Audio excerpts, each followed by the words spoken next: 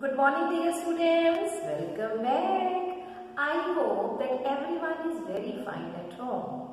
Dear students, आज हम करेंगे विषय हिंदी आज का सब्जेक्ट है हिंदी जिसमें आज मैम आपको कराएँगे ओ की मात्रा का परिचय आज हम कौन सी मात्रा कराएँगे मैम आपको ओ सबसे पहले हमने की थी आ ई ए ए उ ऊ आज हम करेंगे।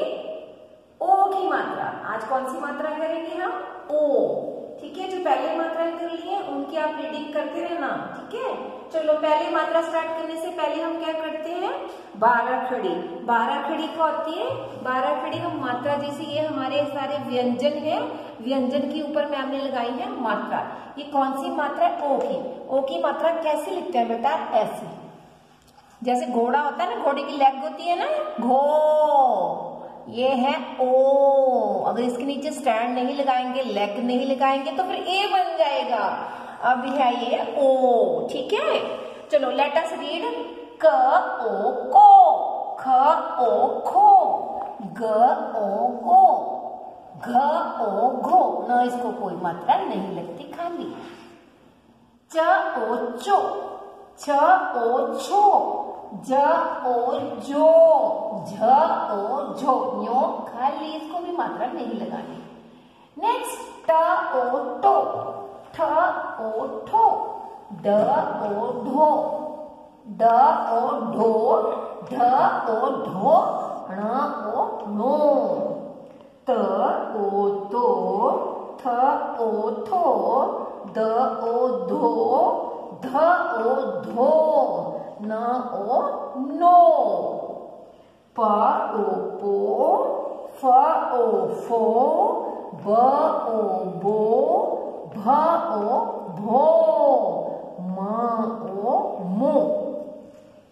Ya o yo ra o ro la o lo va o wo. Sha o sh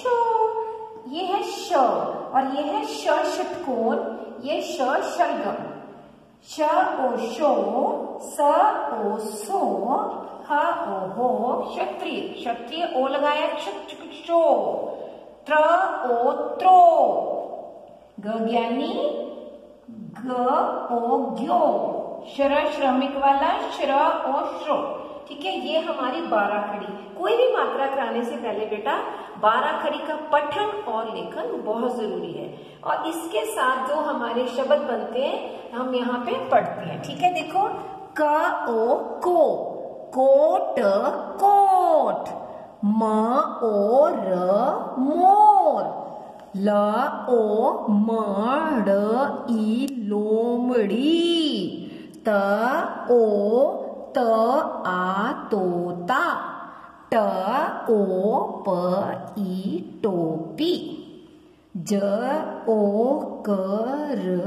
joker बेटा, इससे मिलते जुलते मैं आपको थोड़े से और शब्द करवाती हूँ, ठीक है? ये देखो मेरे पास फ्लैश कार्ड है। सिर्फ़ हम यहाँ पे रीड करेंगे okay let us read see, ओढ़नी ओढ़नी। Coat coat.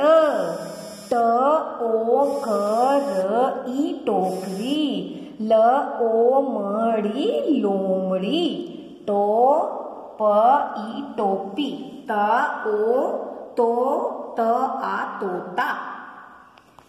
ज, ओ कर जोकर, घ, ओ घोड़ आ, घोड़ा, ग, ओ, गो, भ, ई गोभी क ट ओ, र, ई, कटोरी। देखो ये टोकरी और कटोरी दोनों अलग अलग है। न, ओट, नोट। ख, र, ग, ओश, खरगोश। ह ओ ट ल होटल डियर स्टूडेंट देखो मैंने आज कितने सारे शब्दों का पठन किया। साथ में जब हम रीडिंग करेंगे, पठन करेंगे, आपने ध्यान रखना है कि कौन सी मात्रा की आवाज़ आ रही है, ठीक है? Okay bye bye thank you have a nice day